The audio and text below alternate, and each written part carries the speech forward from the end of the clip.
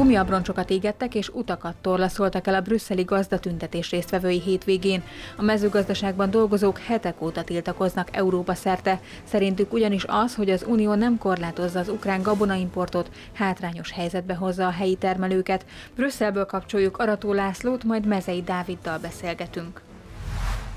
Így van, mert hogy a hét nagy gazdatüntetéssel indult Brüsszelben, csak nem ezer traktorral vonultak ugye fel ismét az európai gazdák, majd kapcsolunk mindjárt Brüsszelbe, de hát itt van a stúdióban Mezei Dávid, az MBH Bank agrár kapcsolatokért felelős vezetője. Köszöntöm, jó estét kívánok! Jó estét kívánok! Hát nagyon úgy tűnik, hogy az európai választásokig terítéken lesz a gazdák ügye, és minden bizonyja befolyásolja majd is az EP választásokat. Mi történik Európában, és itt nem csak Brüsszelről kell beszélnünk, mert most a brüsszeli képeket látjuk, de hát az elmúlt időszakban Románia, Hollandia, Spanyolország, Németország 18 18-19 országban voltak tüntetések? Itt három probléma torlódott össze a mezőgazdaságban. Az egyik az a fenntarthatóság zöld átalakulásnak a problémája, és ezzel, ezzel kapcsolatos új jogszabályok, követelmények.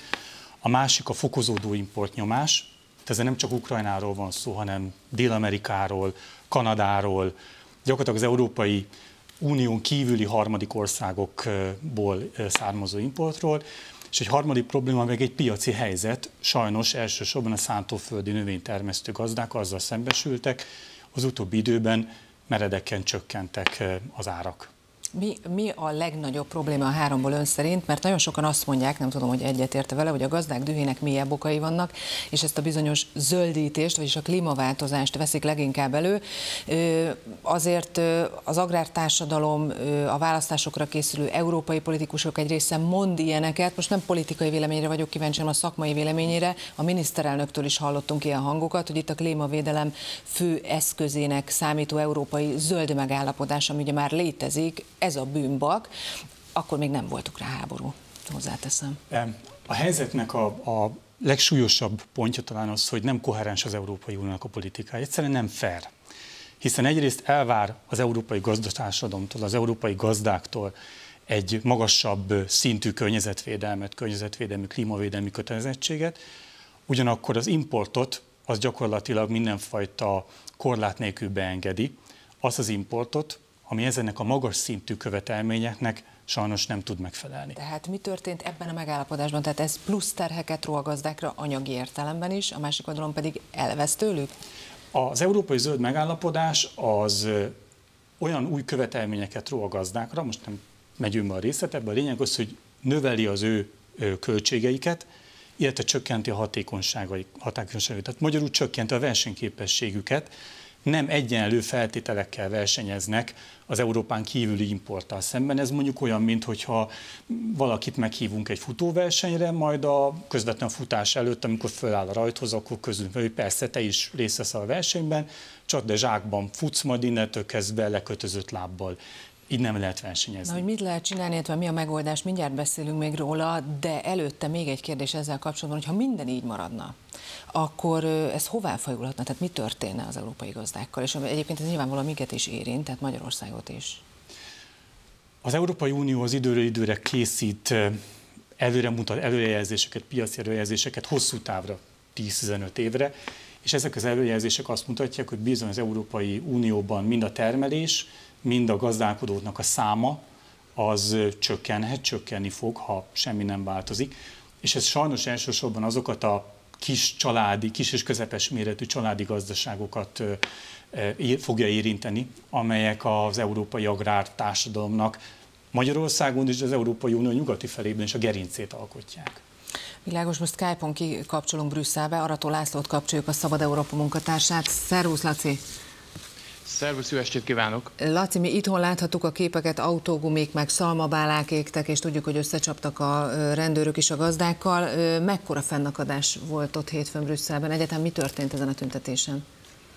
Igen, hát én ezeket a képeket három méterről láttam, úgy, hogy ott voltam ezeken a helyszíneken. Tulajdonképpen a, a közel ezer traktor és több ezer gazda az Európai Uniós negyedbe érkezett, legutóbb csak a Európai Parlamentet vették blokkád alá, de most, mivel a agrárminiszterek tanácsa is ülésezett, ezért más uniós intézményeket, tehát a tanácsot és a bizottságot is körbezárták, meglehetősen nagy volt a rendőri készültség. Néhány helyen a beton akadályokat át tudták törni traktorokkal a tüntetők, az egész az egész demonstráció azzal kezdődött, hogy folyékony fekáliával locsolták a rendőröket, tehát ez már megadta az alaphangot, később is volt összecsapás a rendőrök és a tüntetők között, bár nem komoly, csak dobálták a rendőröket, petárdákat durogtattak.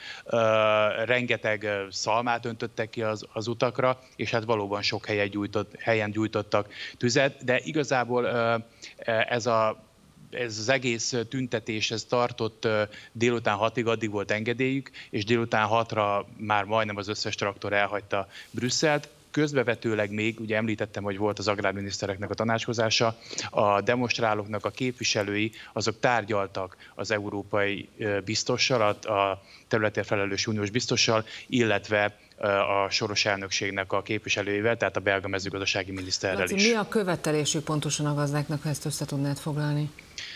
Ugye nagyon sokrétű, amit az előbb hallottunk, azok valóban mind megjelennek, tehát az uniós zöld politikának a rájuk nehezedő administratív költségei, a Mercosur megállapodás által okozott piaci hátrányok, de hogyha ezt össze kellene foglalni, vagy kicsit másképp kellene megfogalmazni, azt mondta az egyik tüntető, hogy nekik arra van szükségük, hogy garantáljanak olyan árakat a termékeikért, ami biztosítja az ő megélhetésüket, és magasabb, mint az előállítási ár. Tehát ez az, ami, tehát most ki, úgy érzik, hogy ki vannak szolgáltatva a piacnak, van olyan mezőgazdasági dolgozó, amelyik 1000, 1200, 1300 eurót keres Franciaországban, ez nem számít túl soknak, szóval azt szeretnék, hogyha az ő megélhetésük biztosítva lenne, és hogy aztán ennek utána milyen mögöttes összetevői vannak, azt már rábízzák a politikusokra, csak azt nem akarják, hogy a politikusok cserben hagyják Na, őket. Ha már politikusok, mit gondolsz, lehet-e azt mondani, hogy ez a téma meghatározó téma téma lesz Európában a kampányban. Ugye júniusban választunk új uniós képviselőket, bele tudnak-e az uniós választásokba szólni a gazdák,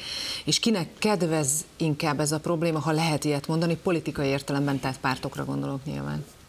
Az már megfigyelhető, hogy a populista pártok azok rá repültek erre a témára, tehát ezeket a tüntetéseken ők megjelennek, támogatják a gazdákat, várják a, az ő szavazataikat. Az is látható egyébként, hogy ezzel számolnak a többiek. Tehát most az Európai Néppárt, mint a legnagyobb politikai család, az igyekszik olyan engedményeket, meg kedvezményeket tenni az Európai Bizottságon keresztül, amely a gazdák helyzetét javítaná. Tehát idézőjelben most akkor jó helyzetben vannak a gazdák, mert a követelésüknek nyomatékot ad az, hogy egy kampányban vagyunk, de hogy mondjuk ennek ellen mondjunk, az Európai Néppárt el is veszített egy nagy csatát, mert szerették volna a természet helyreállításáról szóló törvényt törölni, vagy visszavonatni az Európai Parlamentben, de ez nem sikerült, kisebbségben maradt a néppárt. Ez egy olyan jogszabály, ami szintén a, a gazdáktól elvár különböző követeléseket a természet, természet helyreállítása érdekében. Laci, köszönjük neked, hogy itt voltál velünk. Köszönjük a beszámolót. Nagyon szívesen. Na, itt van Mezei Dávid, folytatjuk. Ugye az Európai Bizottság lépett egyébként, de hát úgy tűnik, hogy a gazdák szerint ez kevés. Ön szerint is kevés az, amit eddig az Európai Bizottság tett?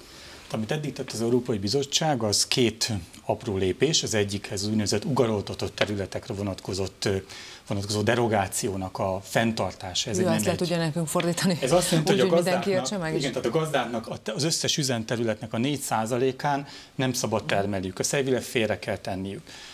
A bizottság azt javasolta elsőkor, hogy ezen a 4%-on akkor csak fehérje növényt lehessen termelni, de mindenfajta növényvédőszer kiszórása nélkül, alkalmazása nélkül, ez megint csak a zsákban futásnak az esete, azt szeretném emlékeztetni a nézőket. A másik probléma meg az, hogy gyakorlatilag a vetésszerkezet már készen állt.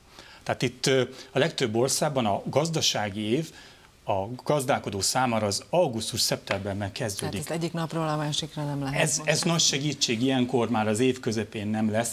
Megint csak a sport hasonlattal éve, ez olyan, mint amikor gyorsan meghívunk az olimpiára, de már az edzőtáborban már nem tudsz részt venni. Ez egyik intézkedés, a másik intézkedés pedig az volt, amit javasolt a bizottság, illetve be is jelentette a bizottságnak az elnöke, hogy a növényvédőszerekre, a fenntartató növényvédőszer rendeletet az visszavonja. Na most ez a, ez a javaslat, ez novemberben már az Európai Parlamentben megbukott. Tehát egy gyakorlatilag halára ítélt javaslatot vont vissza. És bocsánat, volt, volt még egy harmadik javaslata is, hogy bizonyos érzékeny termékek esetében, ilyen például a baromfihús, most újabban a tojás vagy a méz, az Ukrajnából érkező importot korlátozzák, igen ám, de a 2022-23-as mennyiségeken. Tehát ez a liberalizáció, az ukrajnai, Ukrajnával kapcsolatos külkereskedelmi liberalizáció életbe léptetése utáni mennyiségekről beszélünk. Ez megint csak akkor lett volna tényleges komolyan vehető javaslat, hogy ez legalább a 2020-21-es bázison alapszik. Mit kellene tenni, ami nem zsákba futás? Ugye, hogy önt idézzem, most azt mondta, hogy ezek, ezek inkább zsákba futás és egy ilyen látszatintézkedésnek történnek. Mi az, amit lehetne tenni érdemben? Az élelmiszerrendszer ez egy összetett kérdés. Nem lehet csak az egyik eleméhez hozzányúlni. Tehát nem lehet az, hogy klímaváltozással, környezetvédelemmel, alapvető célokkal mi is egyetértünk látjuk, a, tapasztaljuk a klímaváltozásnak a negatív hatásait. A bizottság most mit csinált? A legegyszerűbb ponton sújtott le, vagy leg, legegyszerűbb helyen próbál beavatkozni, a szabályozásnál, a termelőknek a kibocsátásának a szabályozásán és a művelési módszereknél. De elfejtett hozzányúlni a külkereskedelemhez, hiszen hogyha könnyen belátható, hogyha az európai mennyiség, termelt mennyiséget lecsökkentjük, de az importot ugyanúgy beengedjük, akkor a végül a klímával sem tettünk semmi Tehát jót. ott hozzá kell nyúlni mindenképpen. És mindenképpen ott még egy dologról elfeledkeztünk a fogyasztóról. Tehát nagyon fontos az, hogy a fogyasztót adott esetben rávenni arra, hogy adott esetben akkor is a hazait válassza, itt most gondolok európaira, nem csak magyar termésre, de ez mi esetünkben magyar termékekre, hogy az adott esetben kicsivel drágább is. Nyilván ez nem mindenkitől minden esetben várható el, de nagyon fontos lenne, hiszen az igazi, valódi importvédelem, igazi biztonsága a gazdáknak az a fogyasztó, a hazai fogyasztó, tehát itt együtt kell működnünk, és segítenünk kell a hazai gazdákat. Hát meglátjuk, hogy mi történik. Ugye azért foglalkoztunk vele választási műsor révén, mert a gazdák nagyon elszántnak tűnnek, és lehet, hogy most ki fogják tudni egyébként kényszeríteni ezeket a lépéseket a politikától. Köszönöm szépen, hogy itt volt nálunk. Köszönöm szépen.